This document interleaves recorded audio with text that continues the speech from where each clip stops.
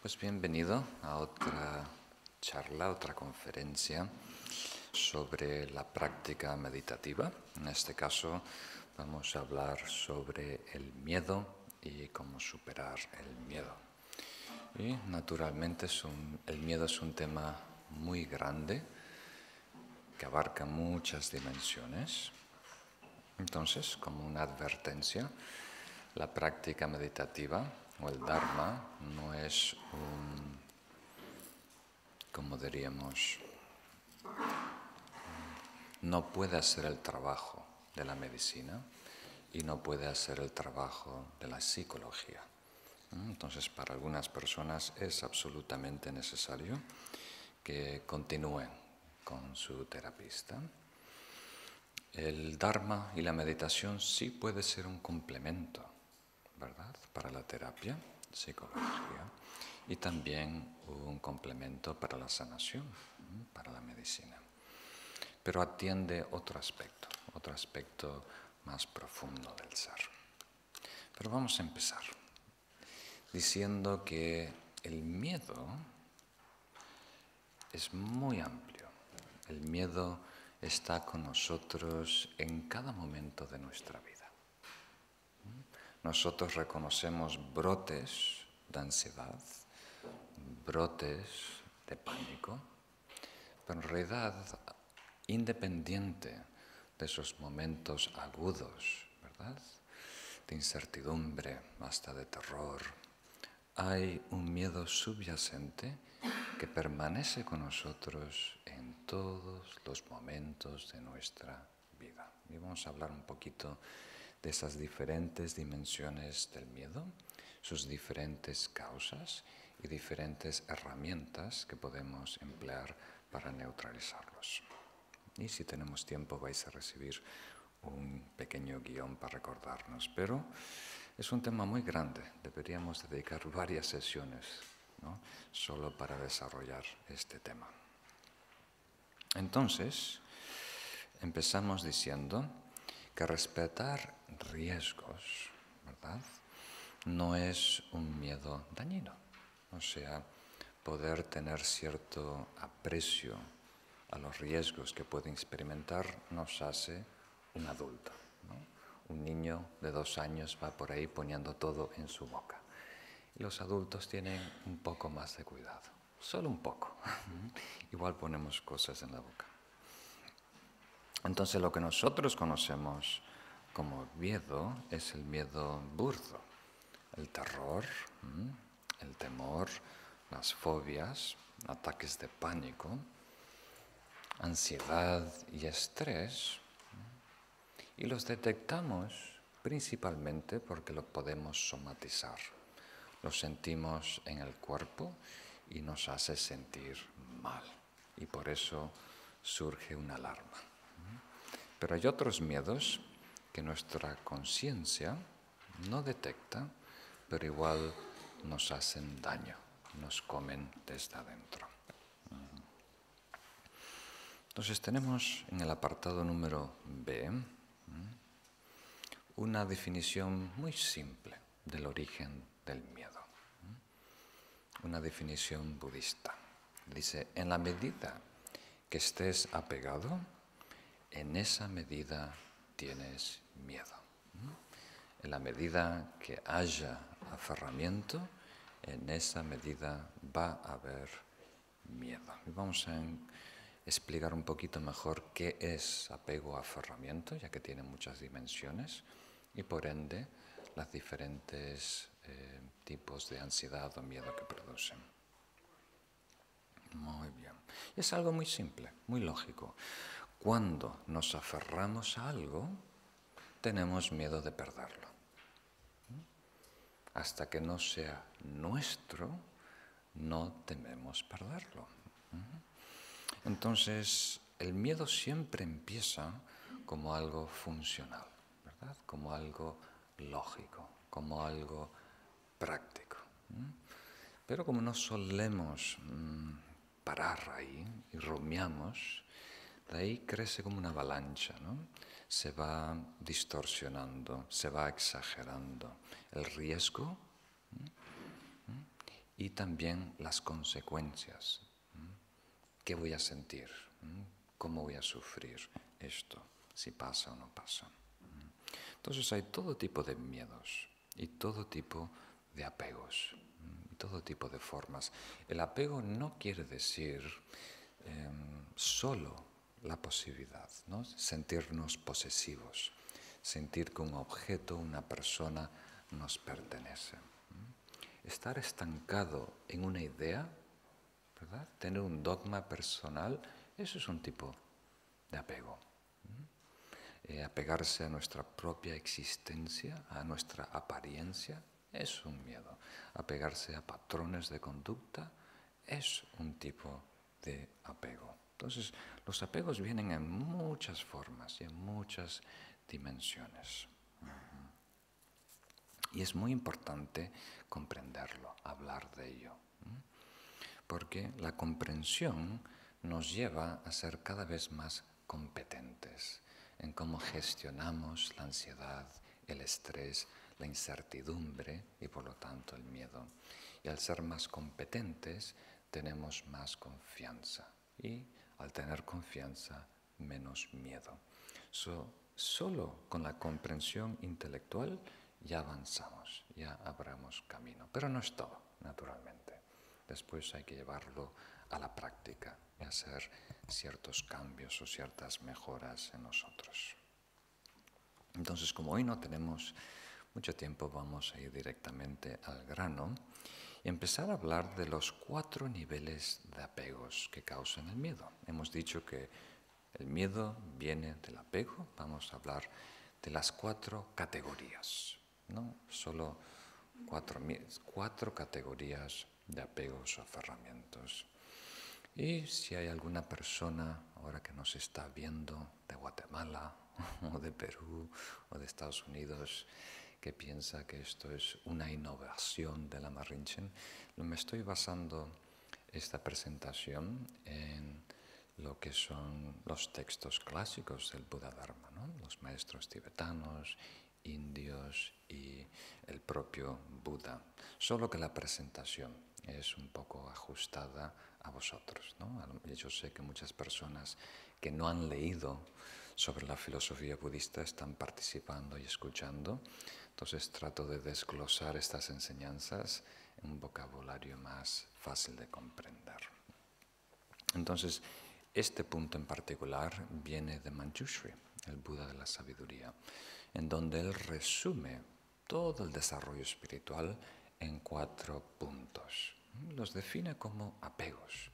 El propósito del desarrollo personal o espiritual es liberarnos de estas cuatro categorías de apego. Si queréis las frases clásicas del Buda de la sabiduría, él dice, si estás apegado a esta vida, no eres un practicante espiritual. Si queréis una pequeña pista, si estáis apegados a cosas de esta vida, no eres un practicante espiritual. Ese es el primer nivel. El segundo, si estás aferrado a la existencia cíclica, no tienes renuncia.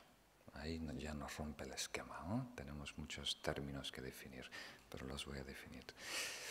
El tercero, si estás apegado a tu propio propósito, no tienes bodhicitta, el corazón iluminado. Y el último, si surge aferramiento, no tienes la verdad. Literalmente dice, no tienes la visión, la visión correcta de la realidad. Y aquí tratando de desglosar esta enseñanza y hacerla más accesible, empezamos marcha atrás con la verdad. El aferramiento a la verdad quiere decir aferramiento a la existencia. Aferramiento a la existencia. Y esto lo podemos ver en un contexto macro o micro. Vamos a ver el, macro, que es el que describe el Buda de la sabiduría. O sea, el primer problema viene con cristalizar el ego, cristalizar el aspecto subjetivo del ser, crear una falsa dualidad. Entonces, cuando cristalizamos ese ego, cuando nos aferramos al ser, por decirlo así, eso va a crear una serie de problemas. Crea una falsa realidad, una realidad alternativa que después requiere mucho mantenimiento. Tenemos que hacer muchas cosas para compensar por esa distorsión que recién hemos fabricado. ¿Tiene sentido? Entonces, una vez que existimos, una vez que nos aferramos a nuestra existencia individualista, eterna, independiente, después empieza el aferramiento a mi bienestar. Una vez que hemos creado el monstruo de ego, después hay que darle de comer. Hay que mantenerlo. Nos preocupa mucho nuestro bienestar. Nos convertimos obsesionados en cómo nos sentimos. Todo nos afecta, todo tiene que ver con nosotros. Y una vez que estamos sumamente preocupados sobre nuestro bienestar, naturalmente nos preocupa mucho el futuro, nuestro futuro. Y eso se llama aferramiento a la esperanza, la segunda línea de Manjushri. Cuando dice, si estás aferrado a la existencia cíclica, no tienes la renuncia, realmente es el aferramiento a la esperanza, que el futuro me va a hacer feliz, que la felicidad va a venir de afuera. Algo va a pasar en algún sitio, en algún lugar que me va a hacer feliz. Ese es un, un tipo de apego muy sutil.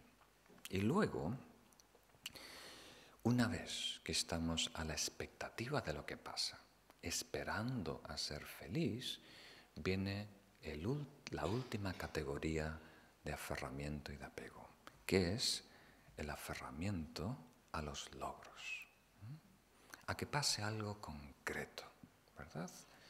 Que yo sea más famoso, que yo sea más rico, que yo sea más guapo, que yo sea ta ta ta ta ta ta ta.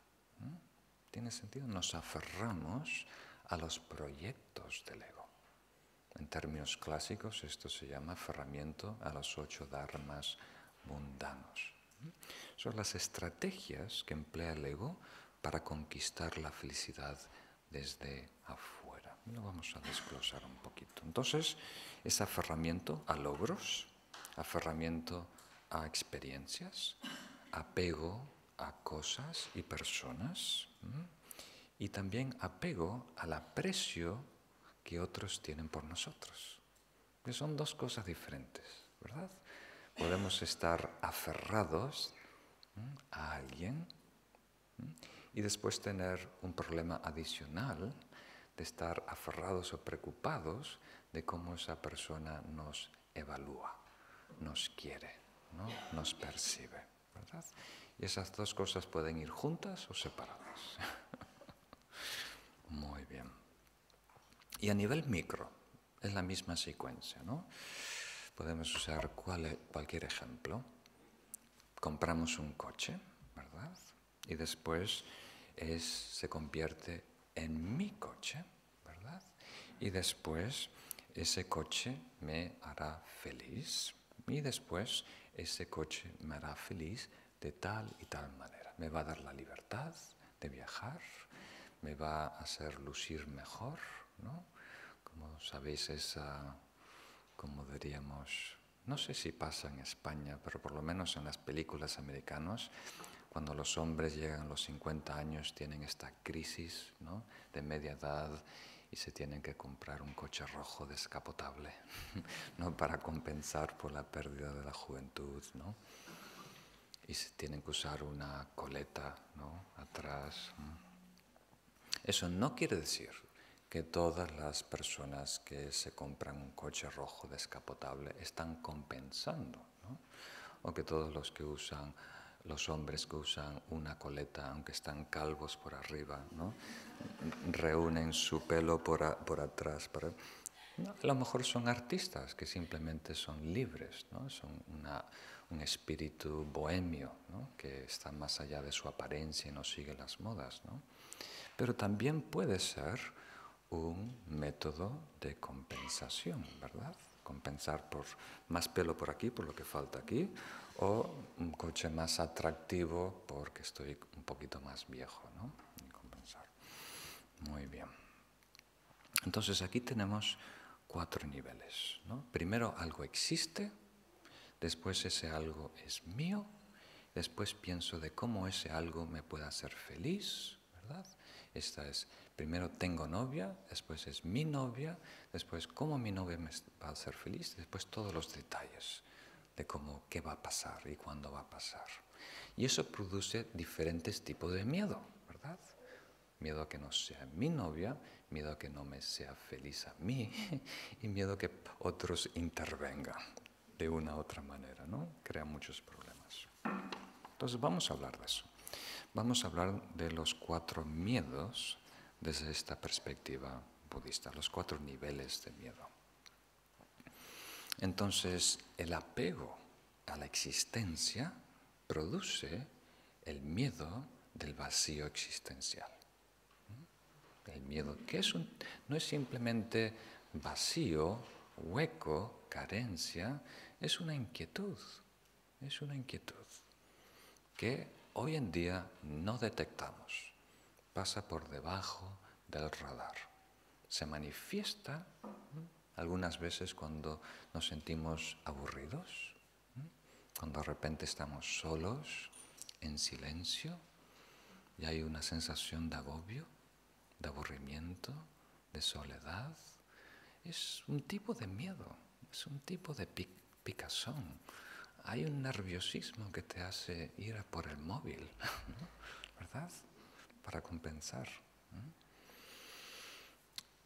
Entonces, sin darnos cuenta, muchas de nuestras actividades, lo que parece ser elecciones maduras de una persona adulta, realmente es un método desesperado para compensar, enmascarar un miedo subyacente que hoy en día no detectamos. Entonces, Aferramiento existencial al yo produce el vacío existencial.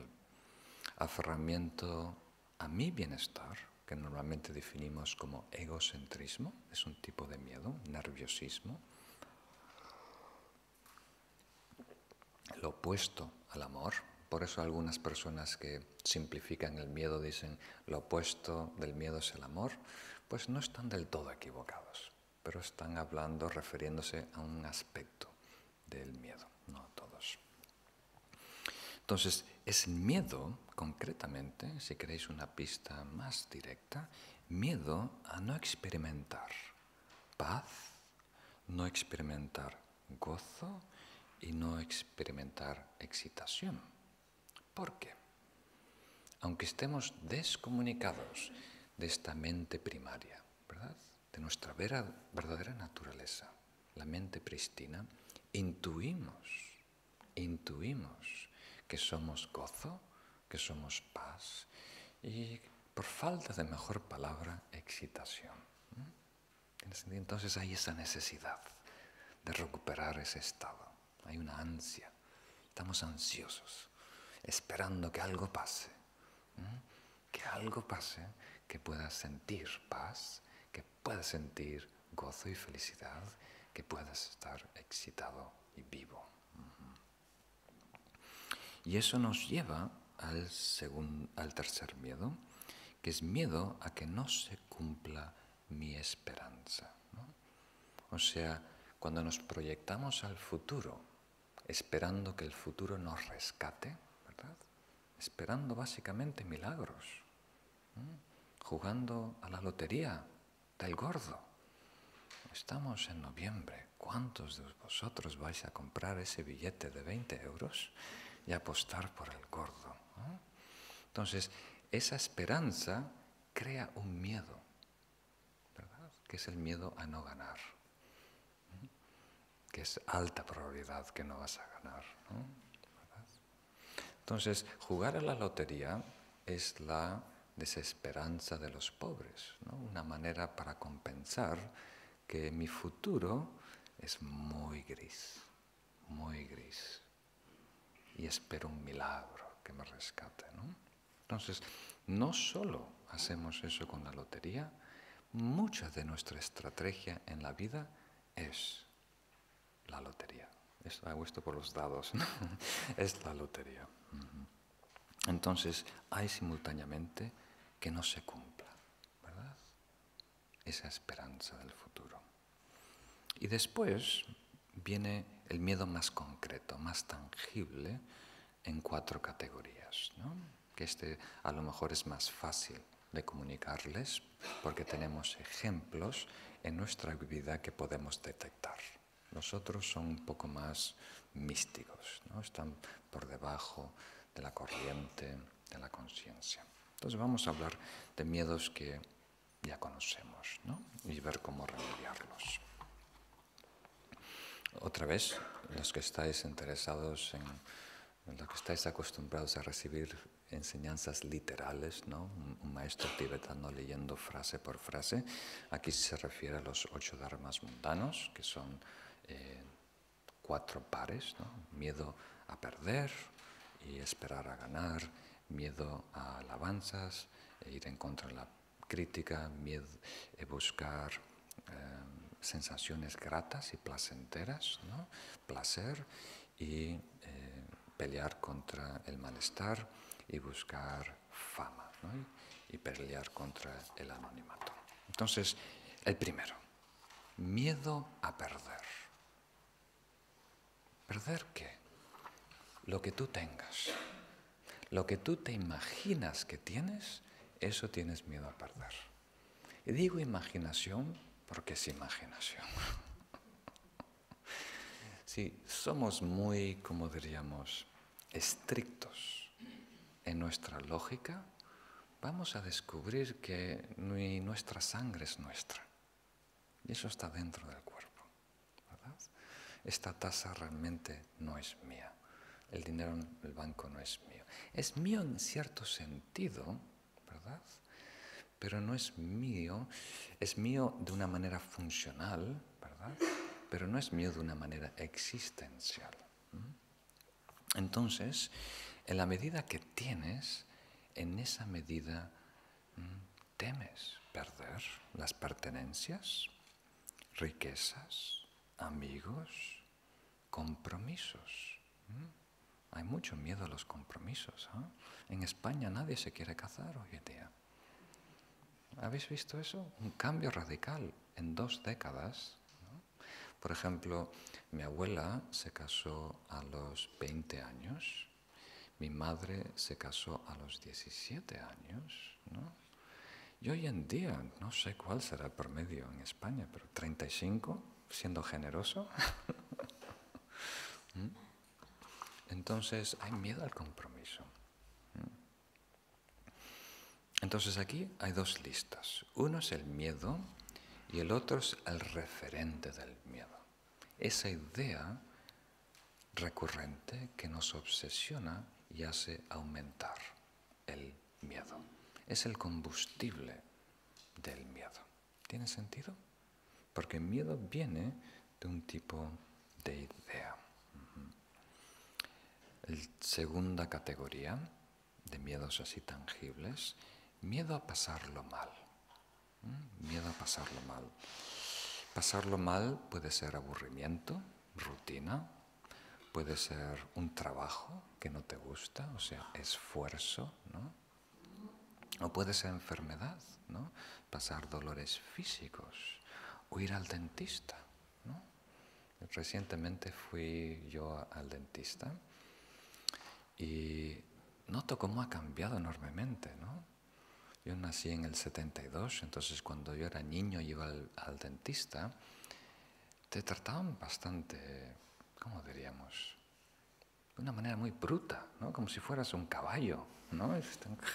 Te tiraban y te ponían, pero ahora son tan delicados, ¿no? Te ponen un poquito de anestesia líquida, Después te ponen, te voy a dar un pinchazo muy rápido, ¿viste? Ponen un pequeño pinchazo, queda un poco más anestasiado, después esperan un rato más y te ponen otro pinchazo más fuerte y no sientes nada, ¿no? Te tratan muy bien. Pero solo el hecho de escuchar el taladro, ¿no? Ya trae tantos recuerdos de mi niñez, ¿no? Cuando me estaban perforando ahí la, la cabeza, el cerebro. Solo escuchar ese taladro ya... Pero he notado que he progresado en mi meditación estos años, porque cuando estaba en el dentista solo se puso tenso mi dedo gordo del pie. Cuando era niño se ponía tenso todo el cuerpo, todo estresado, está sudando, ¿no? Cuando el taladro estaba en otra persona, ya cuando estaba en la, en la sala de espera. Pero ahora solo el dedo gordo, tengo que trabajar un poco más. El tercero es miedo a ser despreciado. Eso es importante. Hay un temor de hacer el ridículo en público, de quedar mal, de pasar vergüenza, de que alguien te critique, o el miedo de envejecer, que alguien ya no te quiera. ¿no? Por ejemplo, si eres un actor de cine, hay tanto miedo al envejecer, ¿no? hay tanta presión para tener cirugía estética ¿no? Hacer un lifting, ¿no? Porque eh, ese se convierte en el referente de ese miedo. Porque si no tengo esta experiencia, no voy a ser apreciado, no voy a ser aceptado, no voy a ser querido, ¿no? Y puedo perder, ¿no? O miedo a ser despedido de un trabajo, que alguien no te valore, no te invite, ya no sea su amigo, su compañero y demás. El cuarto tipo de miedo es miedo a ser ignorado. Es un poquito diferente a ser despreciado. Aquí el referente es el estatus, perder nuestro estatus, nuestro título, nuestra posición, nuestra reputación, ¿verdad? Y eso para algunas personas le afecta mucho. Entonces, suele ser que dependiendo nuestro temperamento, uno de estos miedos nos afecta más que a otros. Suele ser que cada uno de nosotros tengamos un poquito de todo, pero hay uno que se destaca, un punto débil. Hay personas que se resientan o temen o son más ansiosas por perder las pertenencias, otros por sentir mal por pasar un mal momento, por estar agobiados. Otros por ser, como diríamos, mm, descartados o maltratados por la tribu. Y otros simplemente por perder la atención de los demás, que otros no te den la atención que tú necesitas. Entonces es importante detectar en dónde estamos apostando nuestra felicidad. ¿Verdad? Porque se trata de eso. En dónde pensamos que surge, que viene, cuál es la fuente de nuestra felicidad. Y ahí invertimos nuestra energía, nuestras expectativas, nuestras esperanzas, y ahí viene el miedo. Entonces, muchas veces estamos preocupados cuando sentimos miedo, ansiedad, estrés, pánico, pero deberíamos preocuparnos más, dicen los maestros, por las causas y condiciones de ese miedo. Lo que produce ese miedo.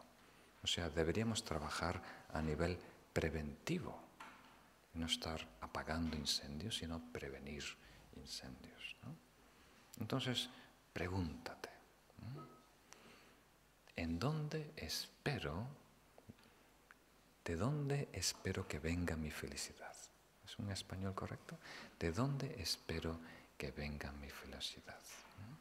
Y algunas veces en nuestra mente nos hacemos trampa. Nos decimos lo que queremos escuchar, lo que nos hace quedar bien con el espejo. Entonces muchas veces si queremos descubrir realmente cuál es ese foco de atracción, ¿no? Tenemos que ver qué realmente hacemos, en dónde estamos invirtiendo nuestro tiempo, nuestra energía y nuestro dinero, ¿verdad? Si te preguntas, ¿en dónde invierto mi tiempo? ¿En dónde invierto mi energía? ¿Y en dónde invierto mi dinero? Ahí ves lo que tú valoras. Y lo valoras seguramente porque tiene algo que ofrecerte para ti, un tipo de felicidad. ¿Mm? ¿Tiene sentido? Entonces, solo con detectar eso es un gran avance. Ya nos prevenimos. Ahora, la próxima página, vamos a hablar un poquito de los métodos correctivos. Cómo sanar, cómo purificar y más que nada cómo prevenir eh, el estrés, la ansiedad y los diferentes niveles de miedo. Entonces, el Dharma, el budismo, tiene cuatro familias de estrategias principales. Las técnicas, meditaciones, yogas, disciplinas, se pueden categorizar, agrupar en cuatro familias. Y voy a usar la palabra cultivar, para que os sorprenda un poquito. Cultivar la virtud, cultivar el equilibrio mental, cultivar el altruismo y cultivar la realidad. Y tienen un efecto sinérgico, ¿no? se complementan y atienden a los cuatro niveles de miedo y los cuatro niveles de aferramiento. Pero a la vez, cada una de estas estrategias o prácticas o meditaciones se enfoca en desmantelar y neutralizar particularmente un tipo de apego, de aferramiento. ¿Tiene sentido? ¿Me estoy explicando bien? es difícil porque estamos tratando en poquito tiempo de abarcar mucho. Entonces, vamos a ir un poquito marcha atrás, ¿verdad?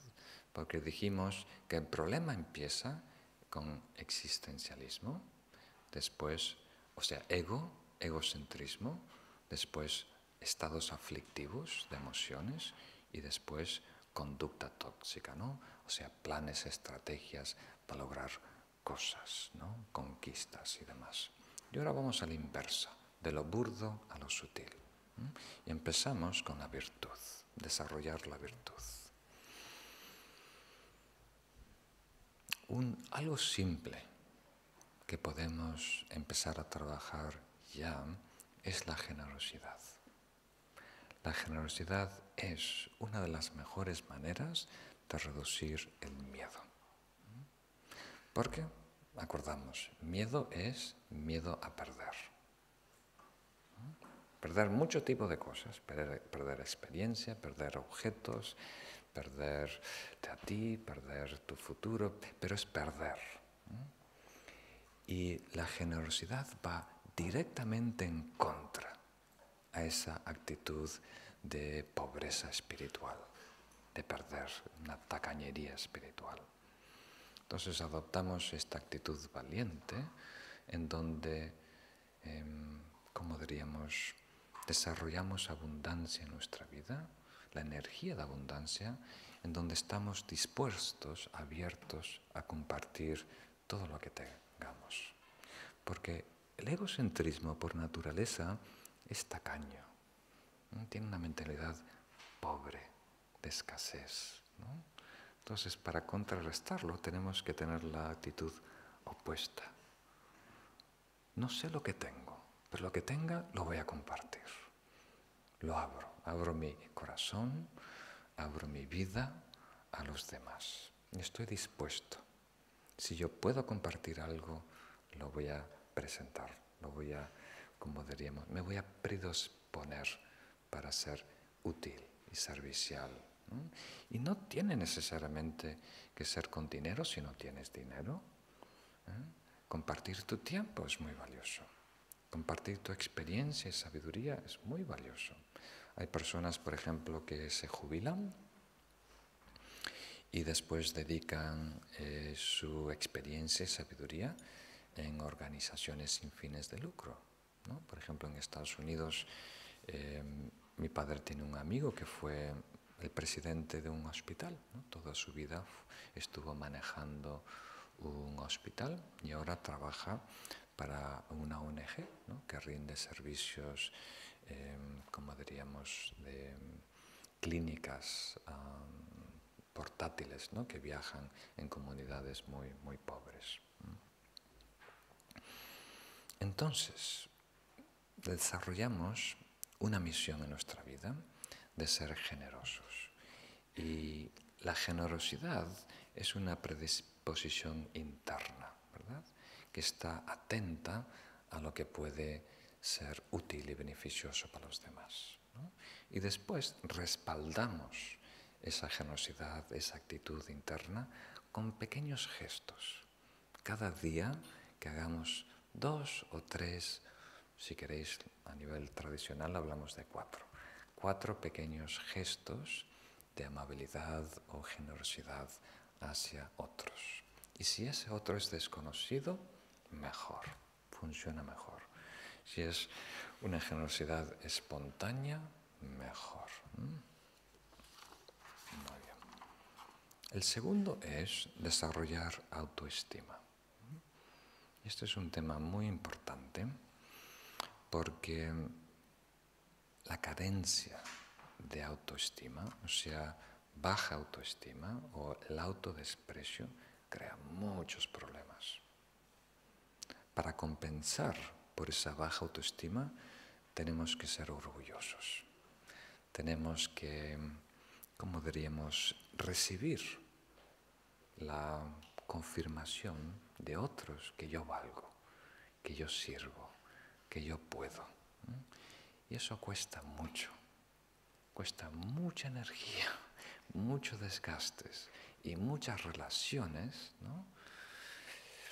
Comprobar tu valor y tu capacidad tratando de conquistar el aprecio de otros. Es un desgaste horrible y crea tantos problemas. Lo veo constantemente, en el budismo y fuera del budismo. Es una epidemia la baja autoestima, causa tanto daño. Entonces tenemos que trabajar la autoestima. Si queréis saber cómo, hay un curso en línea en donde describimos un poquito de ello. El capítulo del entusiasmo de Shantideva habla de algunas herramientas para desarrollar una autoestima espiritual. Después vamos a la segunda clase o categoría de meditación, estrategia, que le llamamos equilibrio mental. En sánscrito, shamatha, en tibetano, shine. Básicamente queremos lograr equilibrio, un estado meditativo, que no quiere decir un estado especial, un estado místico, un estado extraordinario, simplemente queremos recuperar el estado natural de la mente, que hoy se ve interrumpido, bloqueado, agitado por estados aflictivos dentro de nosotros. Queremos tener en nuestra mente dos cualidades que casi nunca coexisten. Tranquilidad, estabilidad y lucidez, claridad. Queremos una mente tranquila y despierta al mismo tiempo. Y eso es una herramienta muy importante para disipar el eh, miedo. O sea, de todos los elementos que nos hacen resilientes, a lo mejor la atención y el equilibrio mental es el más poderoso. Solo con desarrollar, adueñarnos del presente, ¿verdad?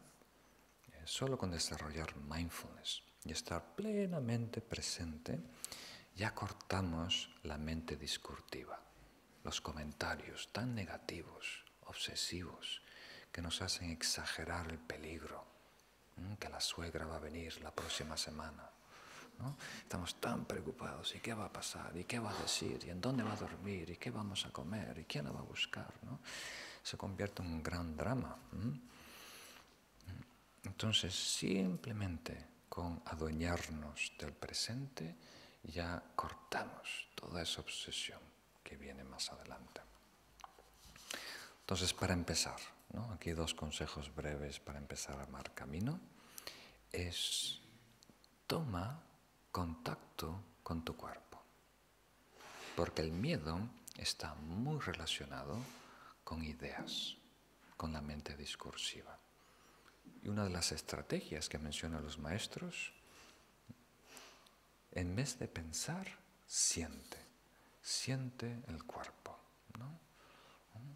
Hasta haz movimiento, ejercicio, siente los pies en la arena, caminando en la playa, respira profundo, llena los pulmones, toma conciencia del cuerpo y los músculos y la piel y la brisa del aire.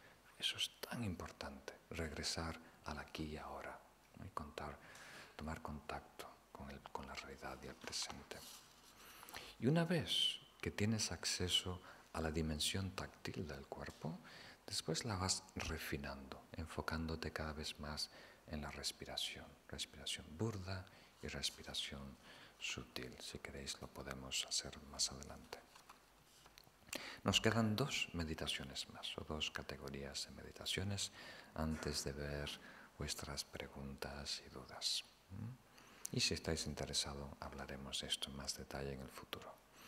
La tercera estrategia es cultivar el altruismo, abrir el corazón, desarrollar amor y compasión. ¿Mm? Particularmente en el contexto del sufrimiento, nos enfocamos en la compasión. Compasión hacia nosotros y compasión hacia otros seres, para salir de nuestra burbuja, de ese problema que estamos obsesionados por todo el peligro que arrastra.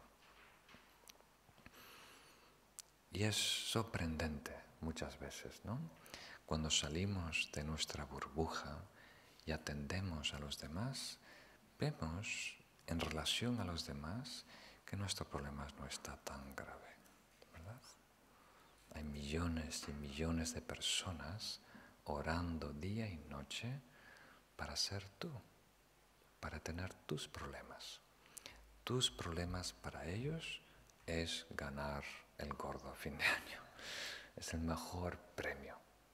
Harían cualquier cosa para tener tu vida el peor día de tu vida sería el mejor de ellos. Porque ellos están preocupados, no saben qué va a pasar mañana, si alguien los va a matar, si les va a poder dar comida a sus hijos, si van a encontrar agua potable, si alguien va a poder traer ese medicamento. ¿Tiene sentido? Están a nivel de sobrevivencia. Y cuando uno toma en contacto con la realidad. ¿no? Entonces nuestro problema en contexto es, ¿cómo diríamos? Muy, muy pequeñito. No, no, el riesgo realmente no es lo que aparentaba ser. Entonces, esto requiere un poco de valentía. Pero cuando sentimos ¿no? esa amenaza, entonces tomarla como un ejemplo para empatizar con otros. Mira, esto que me está pasando a mí, que a lo mejor voy a perder mi trabajo, que a lo mejor alguien va a rayar mi coche nuevo, que a lo mejor alguien va a robar esto, que a lo mejor alguien me va a criticar públicamente.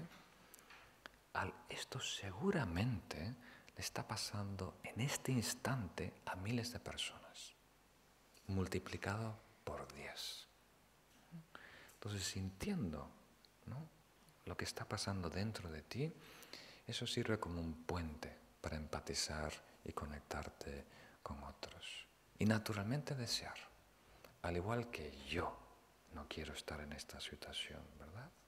Al igual que yo no quiero sufrir y seguir siendo víctima, también deseo lo, de, lo mismo para los demás.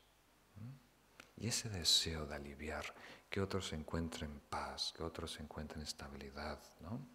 Personas hoy en día en Sudamérica, donde hay mucha incertidumbre, ¿no? Política en Chile, en Argentina, en Bolivia, Ecuador, tantas partes hoy en día hay tanta incertidumbre, personas que no han salido de sus casas por varios días. ¿no? Entonces, viendo y deseando que ellos logren paz, equilibrio, paz, eso ya nos protege, ¿no? neutraliza lo reactivo que es el egocentrismo, el miedo existencial en nuestro bienestar y disipa todas las emociones que de ahí florecen. Y ahora vamos a uno que a lo mejor es el más interesante de la perspectiva budista, que es cultivar la realidad. No hay manera más directa que expresarlo que eso, cultivar la realidad. Tan directa que parece un poco ridículo. ¿Cómo que cultivar la realidad? La realidad necesita cultivo, no se desarrolla sola por sí solo allá afuera, no es algo natural, necesita que le reguemos. Pues no, la realidad es lo que es. Cuando decimos cultivar la realidad, quiere decir salir de nuestra película, salir de nuestra distorsión y recuperar, introducirnos a la realidad a lo que realmente está pasando. No como percibimos la realidad, pero como es. Y eso es todo un proceso que nos acerca a la realidad, un proceso para adquirir sabiduría. Y esta meditación se le llama vipassana, la visión penetrante, descubrir quiénes somos y la naturaleza del universo. Entonces vamos a hablar de dos aspectos de este descubrimiento de la realidad. Vamos a empezar con la característica principal de la realidad, que es el cambio, la impermanencia, y después con un aspecto de su naturaleza, que es la interdependencia. Solo con descubrir uno de ellos ya prevenimos tantos ataques de pánico, tanta incertidumbre, tanta miedo, tanto estrés, tantas, como diríamos, mm, sueños negativos. ¿Cómo se llaman los sueños de pesadillas? Muy bien, vamos a hablar del primero. La característica de la realidad es el movimiento. Aceptar que todo está en movimiento. Nada está estático. Nada está quieto. Todo está vibrando.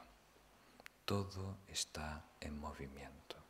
Tan importante descubrir eso, intelectualmente y experiencialmente. ¿Por qué? Porque nosotros estamos fabricados por nuestra evolución ¿no? a través del tiempo de mm, producir iconos de nuestra experiencia. ¿Tiene sentido?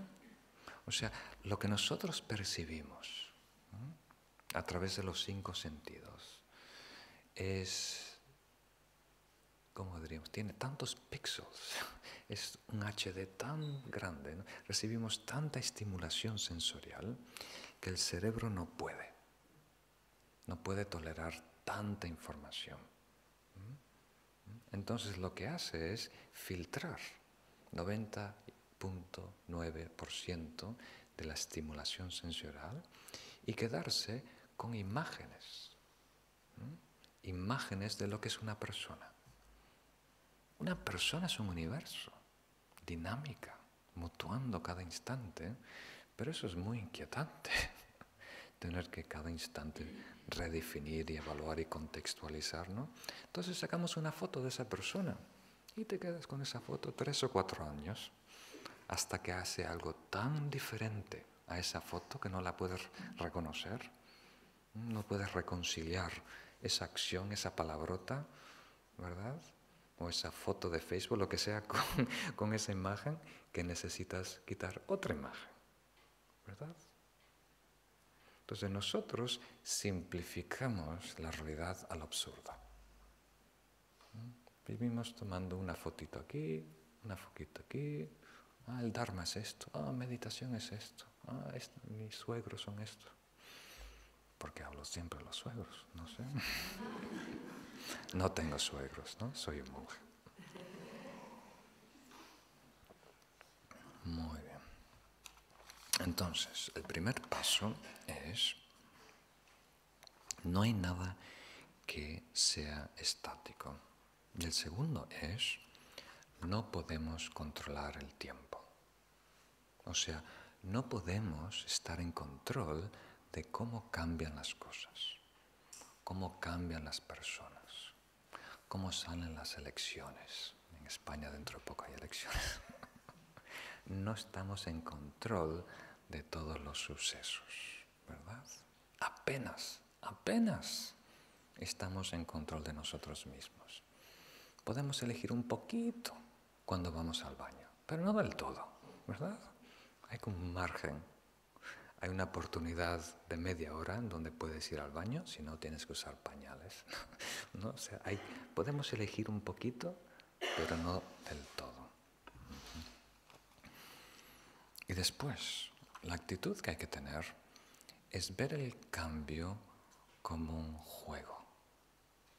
En vez de ser una amenaza, debería ser algo divertido. Imagínate si no hay cambio.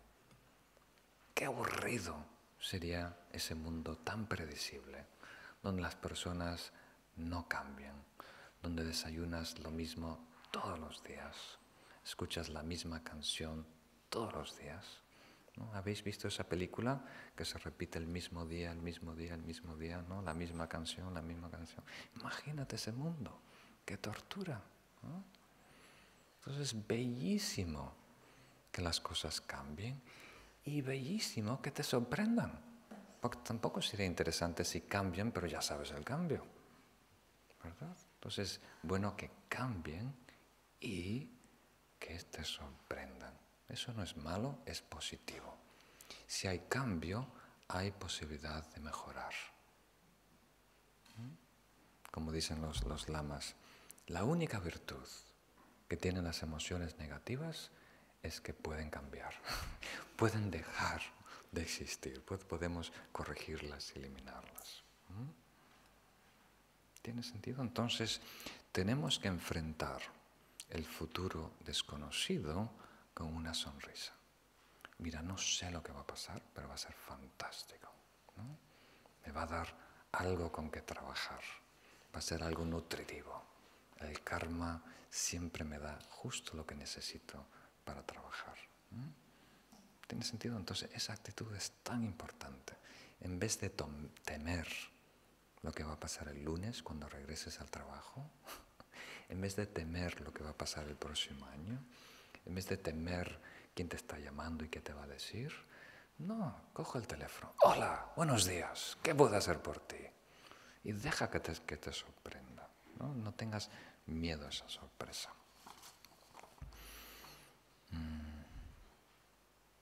Y ahora vamos al tema un poco más delicado, que es la interdependencia. Mm. Vamos a, explicarlo de esta manera, a ver si funciona. Las nociones de nacimiento y muerte no concuerdan con la realidad. Entonces es un puente de la impermanencia a la interdependencia. Las nociones de vida y muerte no concuerdan con la realidad. ¿Mm? ¿Por qué? Porque no surgimos de la nada para ser algo. Y tampoco vamos de ser alguien a ser nada. Y si queréis un ejemplo orgánico y el ejemplo clásico budista de una semilla, ¿verdad?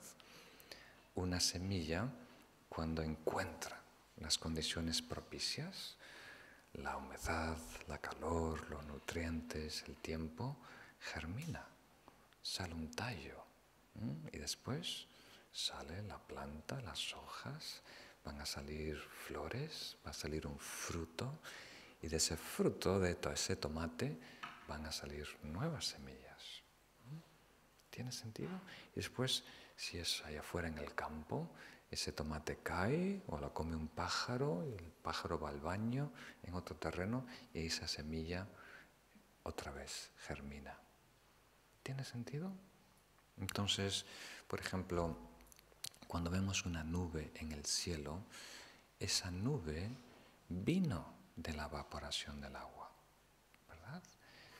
Antes fue ríos o antes fue lágrimas. Y esa nube no desaparece a la nada, se convierte en lluvia, ¿verdad? Que cae otra vez a la tierra.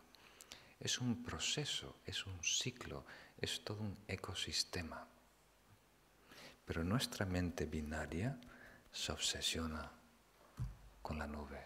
Y cuando desaparece la nube, nos rompe el alma. Cuando en realidad es imposible que se desaparezca porque nunca fue. Es parte de un movimiento, de un ciclo, de un proceso. Y las personas también son parte de un ciclo, de un proceso. Nacen de esta vida, pero vienen de otras. y arrastran sus experiencias, su karma, sus tendencias, viven, cambian, adolescente, adulto, mayor, tercera edad, otra vez regresan su cuerpo, otra vez a la tierra y su continuo florece de otra manera en otras vidas. No hay nada estático. lo que crea la vida y la muerte es nuestra mente, nuestro concepto. Que de repente la semilla tiene una membrana y de ahí aparece un tallo. Y decimos, ahí, ya murió la semilla. Esto no es semilla, esto es planta. ¿Quién dice?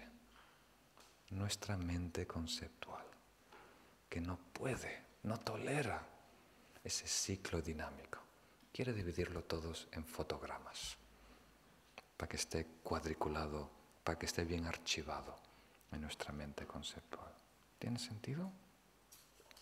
Entonces descubrir eso es tan poderoso. Esto no solo lo ha hecho el Buda, todos los grandes maestros. Descubrir la interdependencia de los fenómenos, de la realidad, de las personas, de las cosas y la interdependencia de cómo nosotros interactuamos, ¿no? Como somos coproductores, ¿se dice así? Coproductores de lo que experimentamos, eso es tan valioso.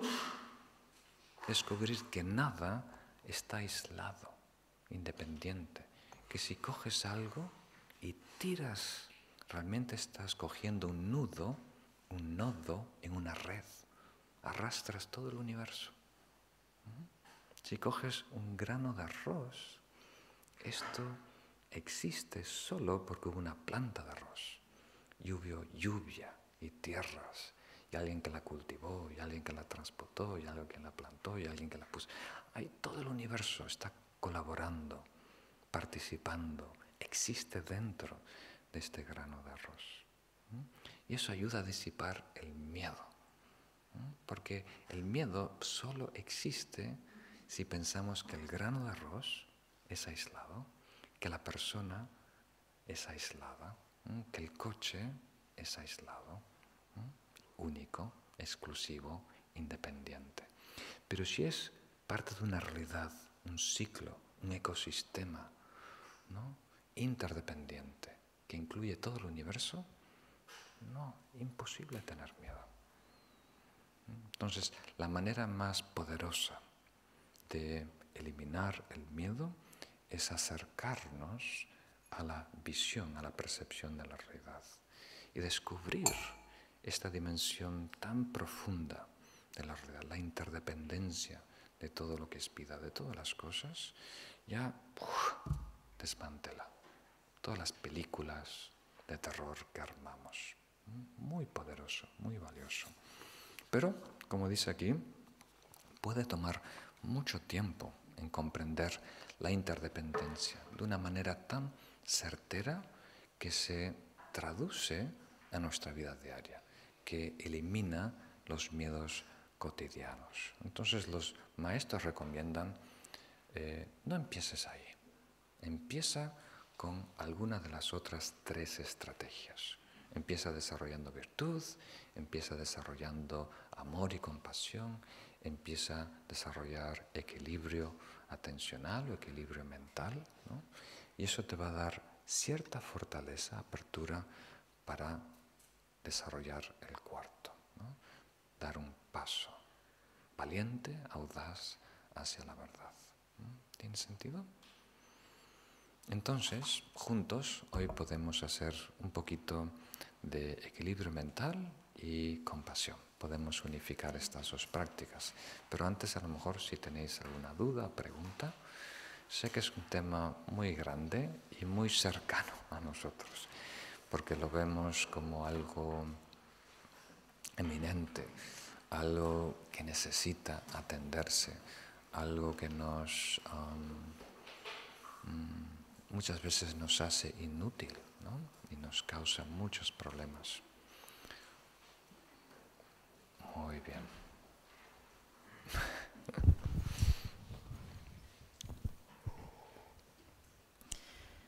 Gracias. A ver, la, eh, me ha gustado mucho que al principio de la sesión dijeras lo de que las personas que necesitan terapia tienen que seguir en la terapia porque encuentro mucha gente que sustituye meditación como terapia y meditación no es terapia. No es terapia. No, es otro, nivel. puede complementar, pero no es lo más apropiado, indicado. Exacto. De hecho, puede ser contraproducente y ahí va mi pregunta. A raíz de ver un vídeo de una psiquiatra que hablaba de esto, justamente, de lo, digamos, ahora mismo estamos con el mindfulness como un super boom que tiene muchísimos beneficios, pero también tiene contraindicaciones. Entonces, un poquito mi pregunta va al hilo de esto. Eh, y bueno, sería, eh, en tus charlas hablas siempre del ego como causa de ignorancia y el sufrimiento. Y por ello trascenderlo es recuperar la verdadera identidad, que sería la naturaleza búdica. Pero eh, no es cierto que si el ego no está maduro, bien estructurado, y psicológicamente equilibrado, tratar de desprenderse de él puede generar en algunas personas desequilibrios psicológicos. De hecho, la esquizofrenia es una ruptura del yo. Es decir, quiero que me hables un poco de eso, de qué manera necesitamos construir un yo para luego, o sea, un yo equilibrado, para luego romperlo, o sea, ir más allá. Si no, personas que no están centradas se ponen a profundizar y pueden encontrar desequilibrios que ya estaban dentro. Quiero que me hables de eso. Es muy, muy importante. Yo creo que es difícil explicarlo mejor de lo que tú lo has hecho. Ya, ya casi lo dijiste todo. O sea, eh, el objetivo final, ¿verdad? De toda práctica espiritual debe ser acercarnos, aproximarnos, eh, fundirnos con la verdad. Eso es realmente lo que sana. Descubrir quiénes somos, descubrir los fenómenos. Y todo está orientado hacia esa dirección. La práctica de calma mental o equilibrio mental o shamatha es convertir nuestra mente en un instrumento para poder profundizar en la verdad. ¿no? El amor y la compasión nos hacen menos reactivos y trata de inducir ese estado profundo, no dual, absoluto.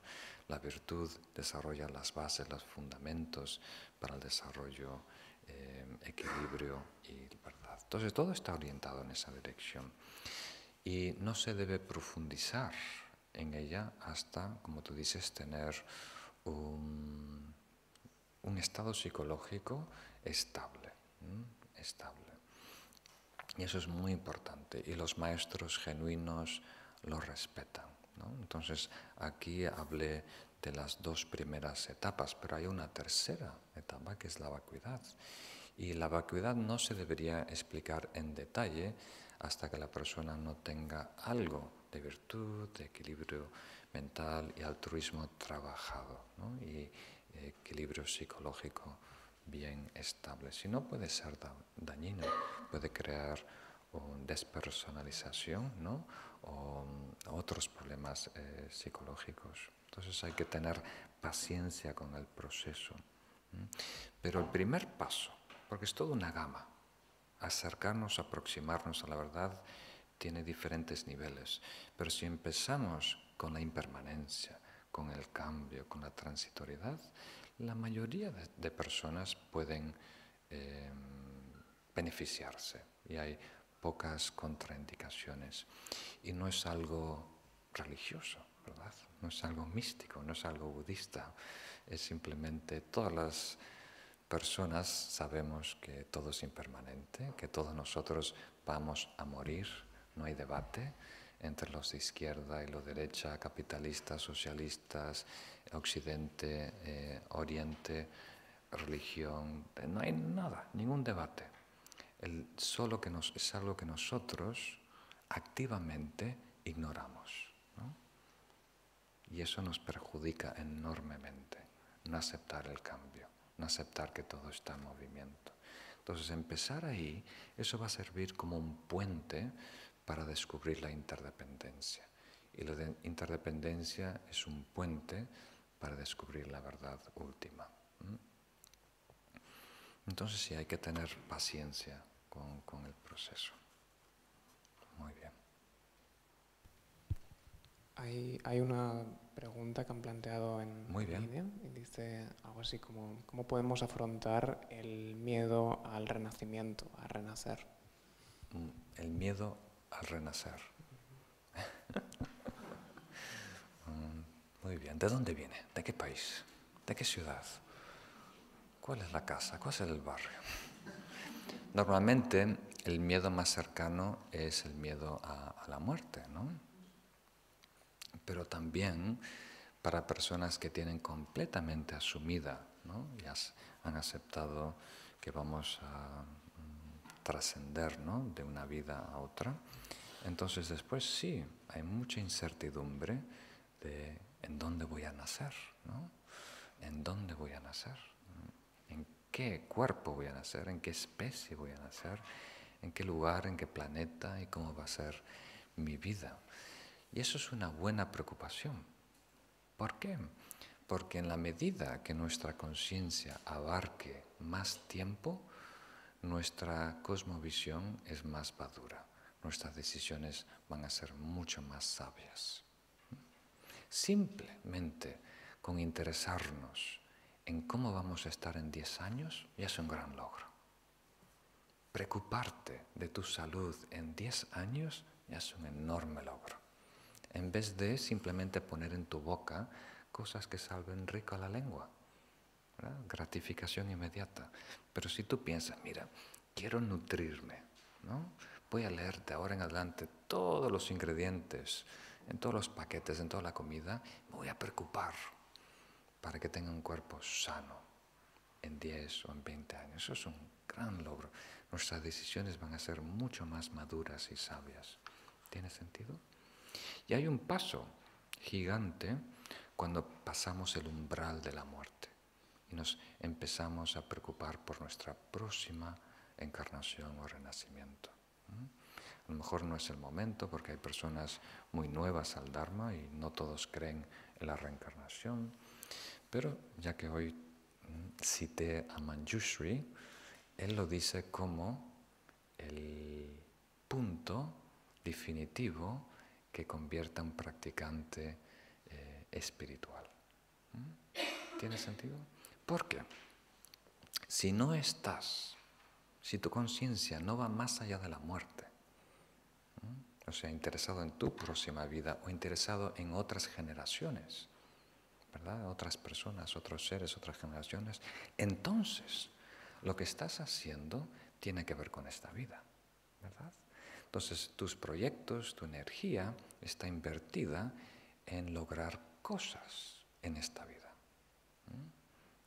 proyectos, logros, sensaciones, experiencias, libros, eh, cosas tangibles que de alguna manera alimenten estos cuatro miedos, que nos den algo para poseer, algo para experimentar, algo que nos haga destacar o algo que nos haga eh, admirar por otros, admirar por otros. ¿Tiene sentido? Entonces se convierte en una estrategia del ego. Puedes estar meditando, puedes hacer un retiro muy largo, pero si tu enfoque es esta vida, sigue siendo un proyecto del ego. Y muchas personas hacen un retiro de meses o años para después ser apreciado por otros, para después ser eh, mejor tener experiencias en el retiro. Muchas personas buscan experiencias con la meditación. Eso es tan dañino, es un tipo de miedo que aleja la experiencia genuina. O buscan poderes psíquicos o cosas así. Entonces, cuando nuestras metas van más allá de la persona, por tiempo o por incluir a otros seres, se convierten en espirituales. Cuando las metas permanecen con esta persona, es autoayuda, desarrollo personal, ¿no? nueva era, ese tipo de cosas. Que no es malo, es mejor que estar, yo qué sé, cazando en el bosque con una escopeta atrás de liebres, ¿no? No estás dañando a nadie, pero no es aún espiritual. Es desarrollo personal, quieres ser más competente, más efectivo, para hacer mejor tu trabajo, para reducir más estrés, que no es malo, pero Manjushri dice que no es necesariamente espiritual, porque sigue siendo un proyecto de tu persona. Ese proyecto tiene apellido y DNI. es una buena manera de decirlo en España, ¿no? Mientras tu proyecto espiritual tenga DNI, es eh, más desarrollo personal que espiritual. Muy bien. ¿Qué más? Todos satisfechos. Qué sospechoso estoy. Muy bien. Muchas gracias. Primero, lo que a mí me ha em, ayudado mucho es em, saber que el miedo está muy conectado con los pensamientos. Y una forma de superar es atender al cuerpo, porque de alguna forma vivimos en un consenso social donde contestamos a, a la identificación de, de, lo que son nuestra forma, nuestra física, nuestra profesión, nuestra nacionalidad. Es un acuerdo social. Un acuerdo social. Claro, y de alguna forma creo que causa mucho miedo dejar este acuerdo social. Oh, entiendo, sí, sí, sí. Entonces, pero por otro lado, yo me estaba preguntando dónde uno empieza. para un poco en una dirección, para salir. ¿Dónde uno empieza? Para empezar un camino sano. Y me parecía muy interesante de, de, tener contacto, de entrar en contacto con el cuerpo. Y con las sensaciones del cuerpo. Muy bien. Sí, em, empezamos allí. Y para aclarar, porque intento, como diríamos, anticipar una pregunta que es recurrente en todos los cursos, la misma pregunta, ¿no? Nuestra mente es binaria y tiende a ir a los extremos. Entonces, cuando estamos hablando de no, no perseguir sensaciones o experiencias o posesiones, ¿no?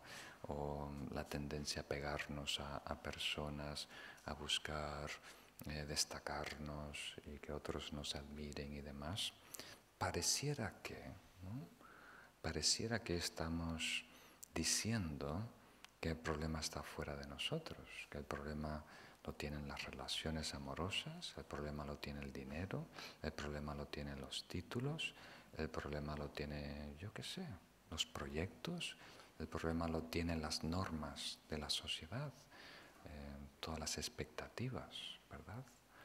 Pero ahí no está el problema.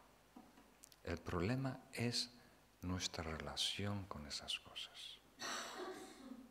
Apego quiere decir una relación tóxica, en donde hay una exigencia irrealista. Entonces, el problema no está en la botella de whisky, el problema está en la expectativa que el whisky te va a hacer feliz. Esa expectativa no la puede cumplir el whisky y nos va a desfraudar, nos va a desilusionar. ¿Tiene sentido? Entonces, el problema no está con el dinero, el problema no está con ninguna de las cosas que hay en el mundo. Entonces, debemos estar en el mundo, pero no ser del mundo. Y eso quiere decir participar, pero no regirnos bajo los valores mundanos que prevalecen, que están de modas. Entonces tenemos que tener un espíritu, como diríamos, um, no sé si bohemio es la palabra, pero un, eh, no rebeldía, no antisistema, pero sí tenemos que estar libres de inhibiciones culturales libres de tabús es a lo mejor un poco fuerte, tiene unas connotaciones que a lo mejor van por otro lado, sino libres de las inhibiciones culturales. O sea, si algo es bueno, aunque pases vergüenza, vale la pena. Si algo es bueno, aunque quedes mal con tus amigos o familia o personas en el trabajo, vale la pena. O sea, si tú quieres mejorar, vas a ser un pionero, vas a estar abriendo camino, vas a estar en la periferia de, em, ¿cómo se llama?, la tribu o la manada. Vas a ser, otros te van a ver como una oveja negra. Y eso no es necesariamente malo, es necesario. No puedes estar abriendo camino tratando de estar por ser mejor como persona, no aceptar la mediocridad y quedar bien con todos y satisfacer a todos y cumplir con las expectativas de todos. Imposible. Entonces no tenemos que ser un rebelde sin causa, ¿verdad? Pero sí, cuando vale la pena, ahí sí, decir, no, yo soy vegetariano no como esto, lo siento. Y punto.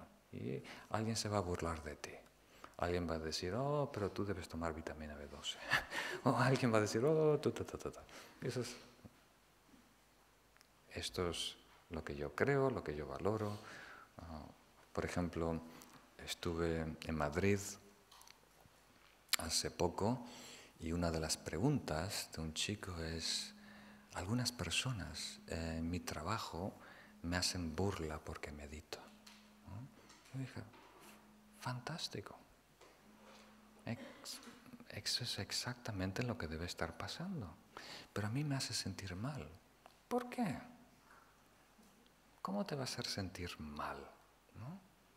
O sea, que otras personas que están mal encaminadas, que empiezan que el propósito de la vida es tener éxito económico, ¿verdad? Que ellos te vean a ti mal es lo mejor que puede pasar. Si ellos te ven bien, ahí tienes que preguntarte lo que estás haciendo. ¿Mm? Si tú no inquietas, si tú no inquietas a las personas que están mal encaminadas, ¿verdad? Viviendo una vida de consumo material, entonces no estás haciendo nada significante. Pero no tienes que inquietar por inquietar, no, hay que llamar la atención, no hay que ir por la calle con un mala, ¿no? Muchas personas se ponen el mala así o ponen algún símbolo que queriendo decir yo ya no soy de esta tribu, ¿no? Yo, yo, yo, no, este mala, este rosario es para recitar mantras, es privado. Tu práctica debe ser para ti, es íntima, no hay que demostrar a nadie. ¿no? Pero si en algún momento hay que ir en contra de la corriente, vale la pena. Lo importante es hacer lo bueno, lo correcto, a largo plazo. Y eso naturalmente va a incomodar alguien. Y eso no solo es aceptable, es positivo, es necesario, es bueno eso es importante decirlo en general y también en España porque hay una patología de la vergüenza. ¿no? Hay como uno de los miedos en España es la pasar vergüenza pública ¿no? O quedar mal públicamente. ¿no? Y hay que superar ese miedo. ¿Tiene sentido? Si tú estás seguro de ti, y estás haciendo lo que es correcto, lo bueno, lo positivo, entonces que piensen lo que quieran, como quieran. Y si piensan mal, mejor, mejor. Entonces el hecho de, sin hablar la boca, sin decir una palabra, en una cena, en una fiesta, en el trabajo, sin mencionar una palabra, el hecho de cambiar internamente tus prioridades, tus valores, automáticamente va a rechazar a algunas personas y por afinidad va a atraer a otras personas en tu vida. Deja que eso ocurra, permita que ese cambio natural ocurra. Puedes mantener relaciones amistosas o profesionales o familiares, ¿verdad? Pero simultáneamente tienes que aceptar que si cambia algo dentro de nosotros, va por ende afectar por afinidad las personas que quieran pasar tiempo con nosotros y personas que se aburran. ¿no? Yo, por ejemplo, cuando empecé en Estados Unidos a meditar, tenía mi trabajo, mi coche, mis amigos, mi apartamento, ¿no? Pero cada vez, naturalmente, estaba más interesado en la filosofía, meditar, ir a retiros, ¿no? Entonces, si te llama un amigo, ¿no? Oh, va a haber esta fiesta, o vamos a ir de parranda a tal, tal sitio, y tú dices, oh, no, este fin de semana tengo que hacer esto. Bueno, y después te llama otra vez en dos semanas. Y tú dices, no, lo siento, esta vez te estoy haciendo esta meditación. Después ya no te llama más. Pero no te llama porque te odia, simplemente los intereses cambian. Y por afinidad, eh, estás atraído a otras personas, a otras actividades, a otros entornos, a otros círculos. Y debemos dejar que eso ocurra. Muy bien. ¿Alguna pregunta? Sí. Escuchándole, eh, me ha venido que a mí personalmente, me apetece compartirlo porque creo que a mí me ayuda bastante con respecto al miedo y a, esta sensación del exterior. Eh, ese, conocimiento que se adquiere de, sentir la quietud cuando alguien está en la meditación, un silencio, una quietud, como que nadie te, bambolea hacia un lado o al otro. A mí personalmente creo que eso me ayuda bastante con los miedos y con, el exterior. No es algo intelectual, es algo más experiencial.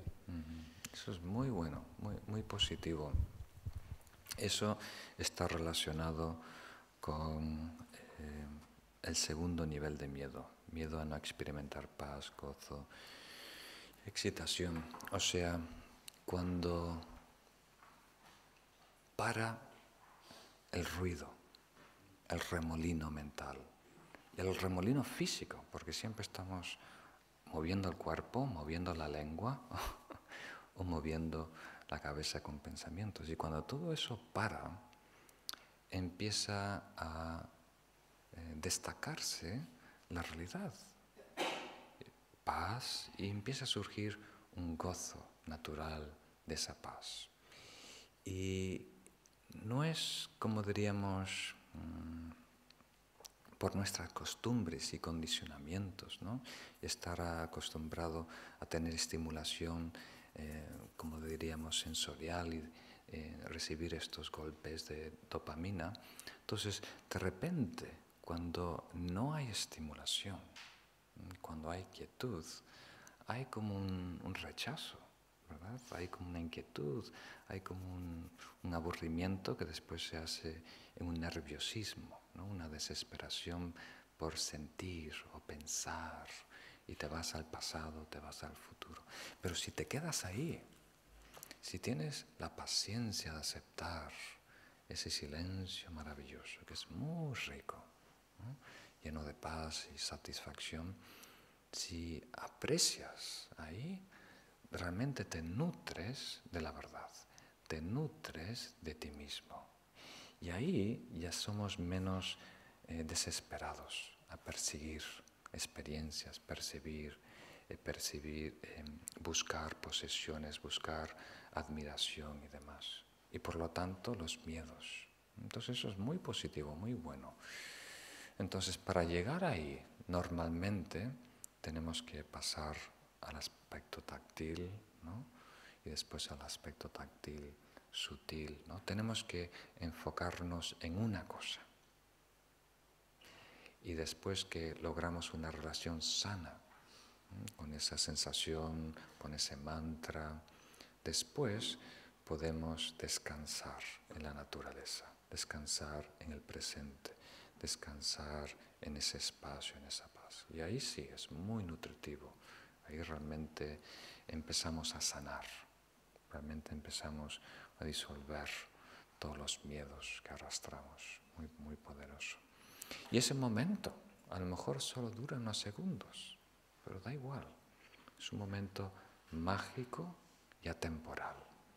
Si podemos superar la conceptualidad, ¿no? se convierte en, en un tiempo atemporal, más allá del futuro y el pasado. Y realmente nos sana, nos impacta, nos ayuda a crecer y evolucionar. Entonces, si os parece, eh, pasamos ahora a la meditación, que nos queda un poquito de tiempo.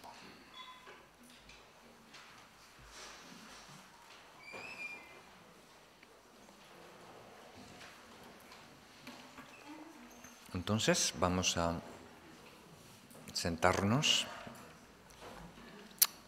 en una postura erguida, si podéis. Los que estáis en casa reclinados, un sofá con las patas para arriba. bueno, para algunas personas es bueno estar completamente horizontal para relajarse, pero para la mayoría la mente está más despierta, más lúcida cuando la espalda está recta y erguida. Muy bien, entonces empezamos dejando que los párpados se cierren o que entre un pequeño haz de luz.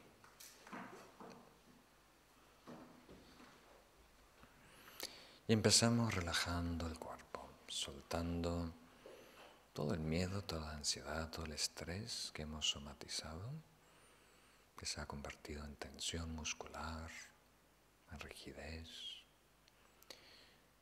Y lo hacemos con una respiración muy profunda, una respiración abdominal, respirando hacia abajo, soltando el diafragma, sintiendo que el aire baja por todo el cuerpo.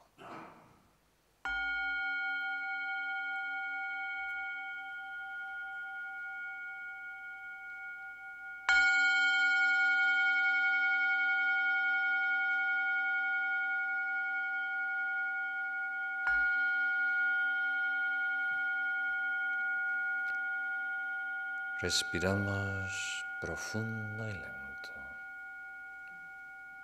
Aire puro y blanco que relaja y tranquiliza todo el cuerpo.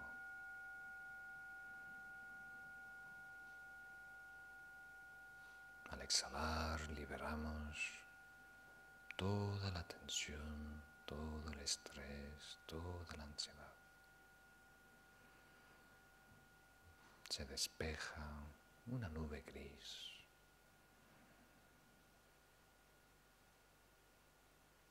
Respiramos aire puro, blanco, cristalino.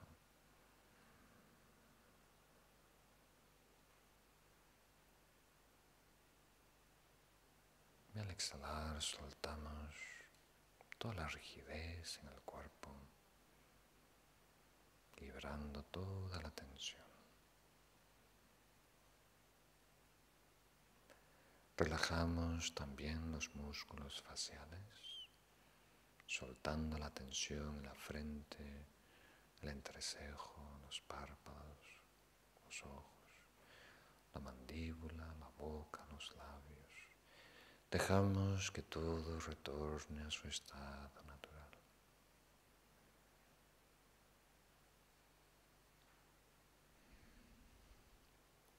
Incluso dejamos que la respiración retorne a su estado natural, que el cuerpo respire solo, cuando quiera, como quiera.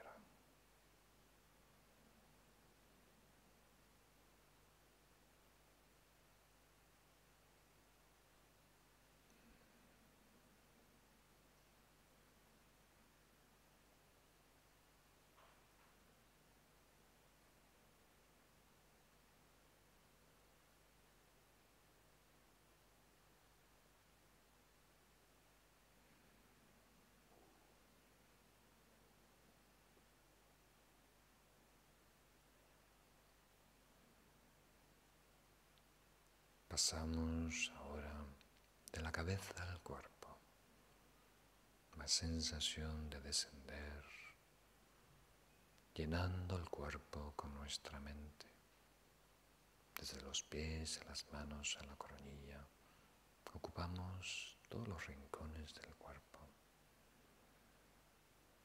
Dejamos atrás los pensamientos, las palabras, los juicios nos dedicamos a sentir,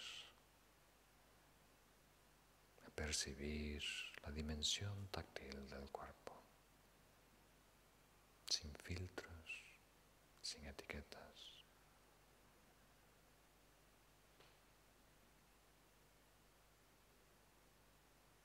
Nos enfocamos en el contacto del cuerpo con el suelo, con el cojín, con la silla.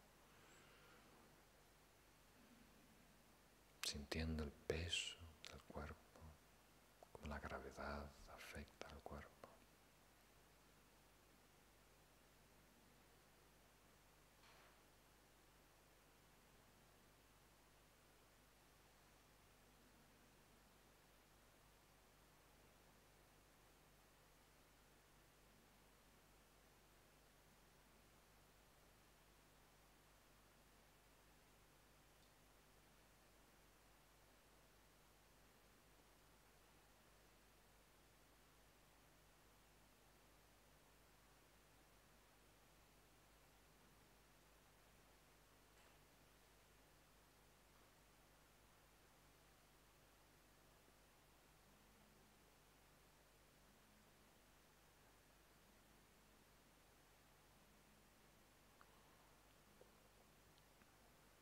Pasamos ahora la piel, percibiendo la temperatura de la piel, la brisa del aire, la ropa que llevamos puesto.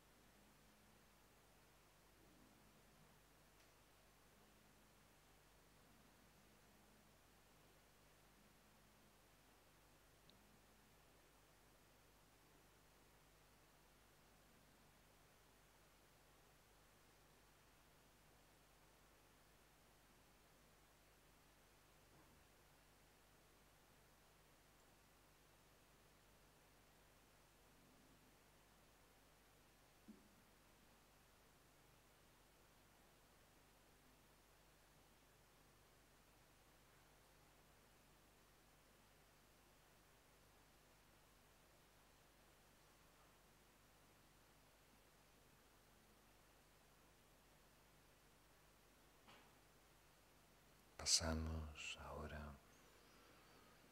dentro del cuerpo, interiorizamos, sintiendo el movimiento del cuerpo con cada respiración,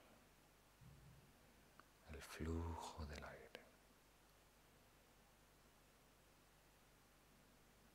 Y si ponemos atención hasta los latidos del corazón,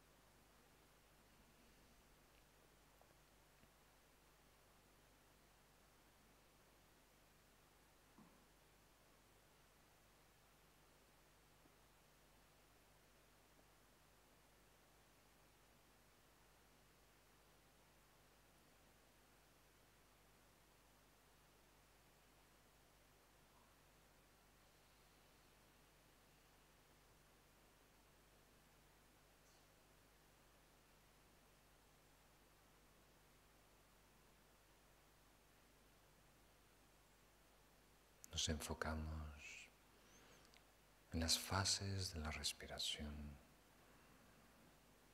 tomando conciencia de la fase de inhalación, el instante de retención y la exhalación.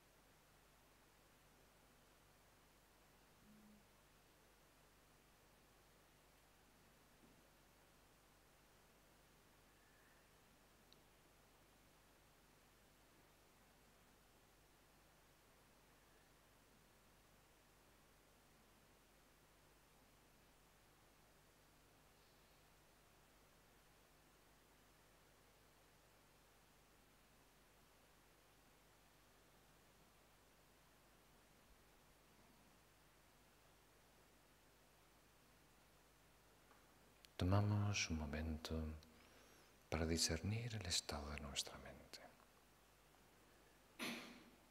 Si la mente está inclinada hacia el sopor, la laxitud, una mente hundida, opaca, o si por contrario la mente está inclinada hacia la excitación, dispersión.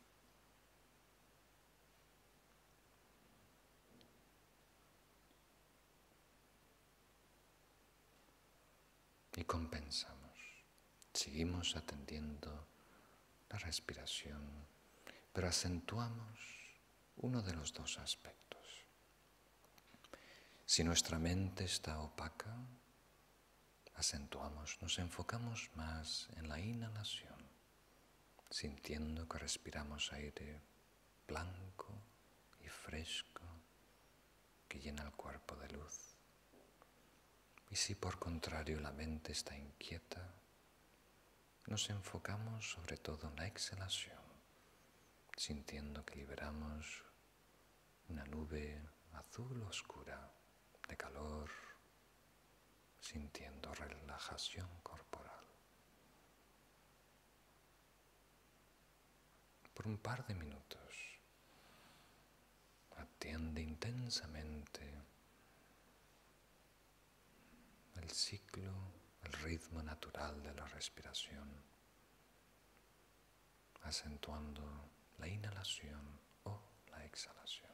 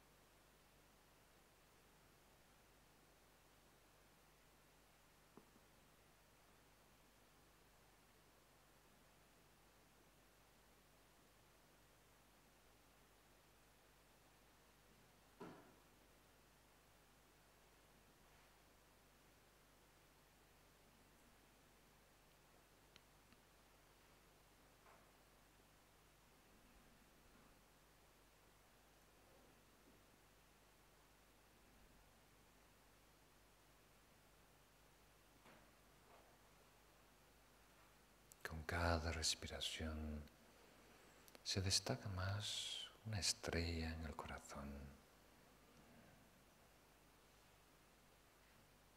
una estrella brillante que representa nuestra mente primaria, nuestra naturaleza búdica, desprendiendo destellos cálidos, brillantes alegres.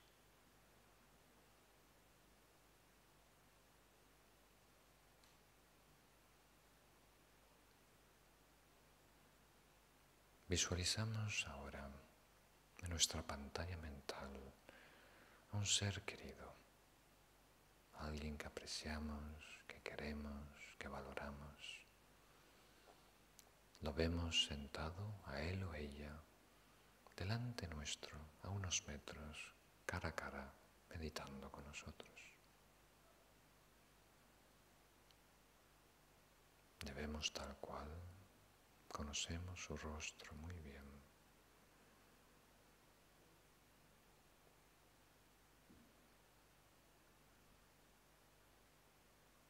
Recordamos brevemente todo lo que ha hecho este ser por nosotros, todo el beneficio que ha aportado a nuestra vida, todas las cosas positivas.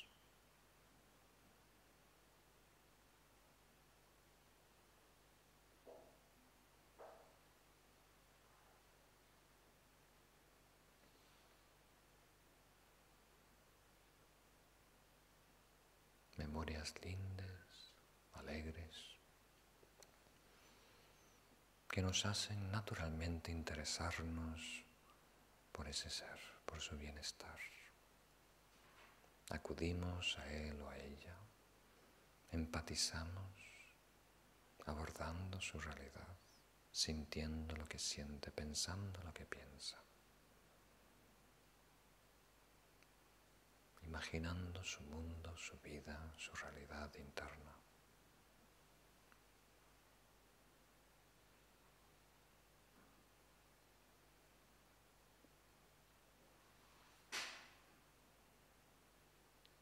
Y no tardamos en descubrir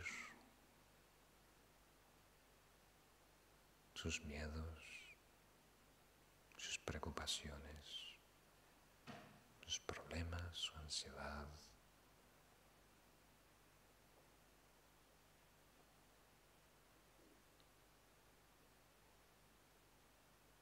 Y nace en nosotros un deseo muy genuino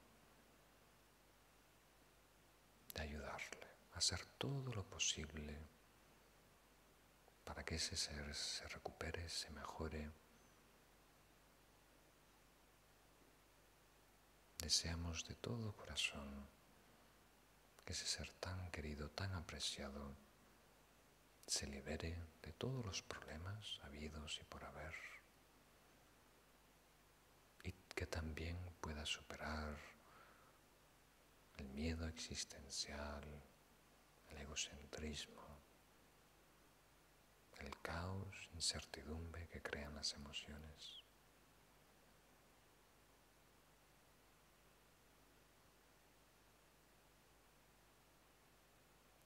Y este deseo de amor compasivo hace que se desprenda de nosotros un río de luz que atraviesa el espacio y cae sobre ese ser como una lluvia de néctar,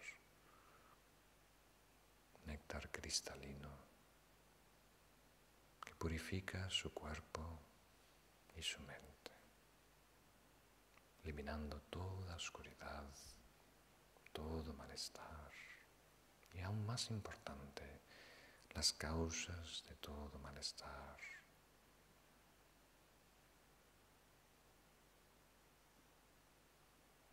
El egocentrismo, las emociones negativas, los patrones tóxicos.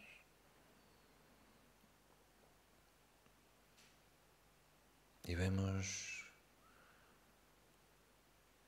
que su apariencia cambia, su cuerpo ahora brilla más, más etéreo, más brillante, más translúcido. Empieza a surgir una sonrisa en su rostro.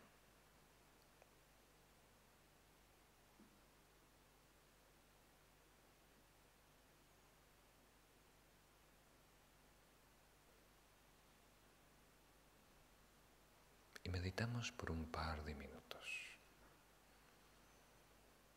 visualizando que con cada exhalación se desprende de nosotros una corriente, un río de luz, el deseo de sanación y purificación. iluminando el cuerpo y la mente de ese ser querido. Con cada exhalación un río de luz.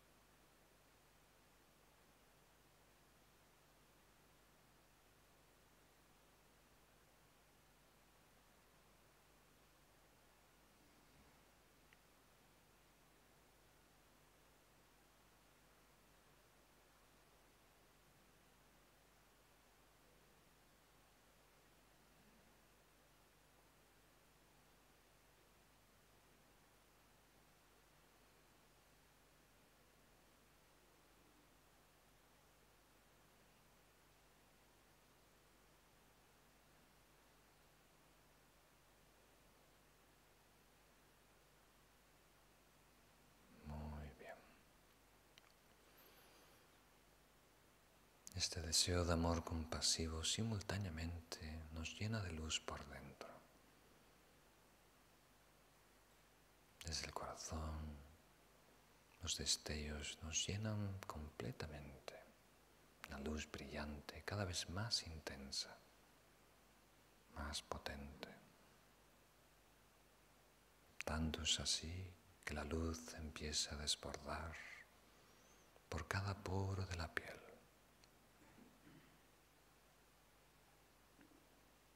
Luz crea una esfera, una cúpula que nos rodea, que va creciendo, abordando, incluyendo más espacio, un metro, dos metros,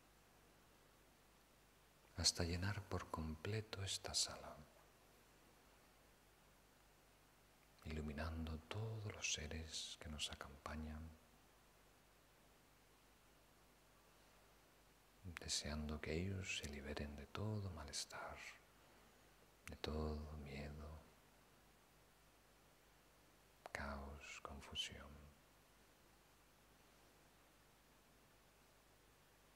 Y ahora de esta sala brillante, este deseo de amor compasivo se extiende hacia todas las direcciones, como una onda expansiva, incluyendo los vecinos, el barrio, el pueblo, la región,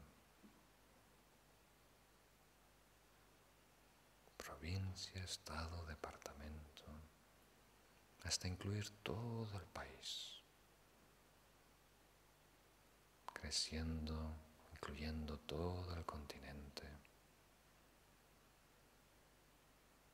Y de ahí cruzando los océanos, iluminando la profundidad de los mares, el cielo, la tierra, iluminando a todos los seres, hasta completamente envolver el globo terráqueo. Y de ahí se extiende hacia todas las direcciones en el espacio, hasta los límites nuestro horizonte conceptual, rompiendo sus límites infinitamente hacia todas las direcciones, tocando e iluminando a todos los seres, transformando a todos ellos en Budas de diferentes tamaños y colores, pero todos brillantes. Nos sentimos rodeados por infinitos números de estrellas, cada uno de ellos budas brillantes. Y ahora desde cada uno de ellos, desde su sabiduría primordial, la luz regresa hacia nosotros, iluminando este planeta, iluminando este país, iluminando este lugar, esta sala, este cuerpo, y concentrándose, fundiéndose con la estrella en el corazón ahora brilla con la intensidad de miles de soles. Nos perdemos, nos disolvemos en esta luz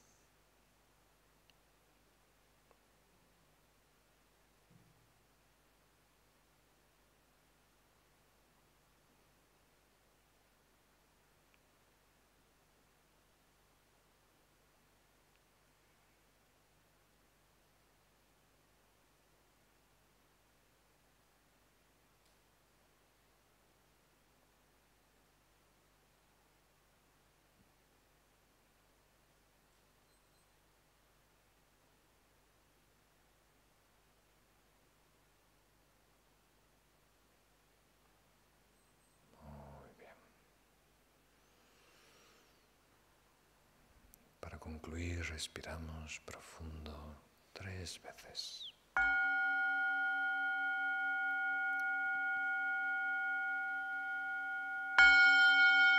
Tomando conciencia del cuerpo, la postura, la respiración.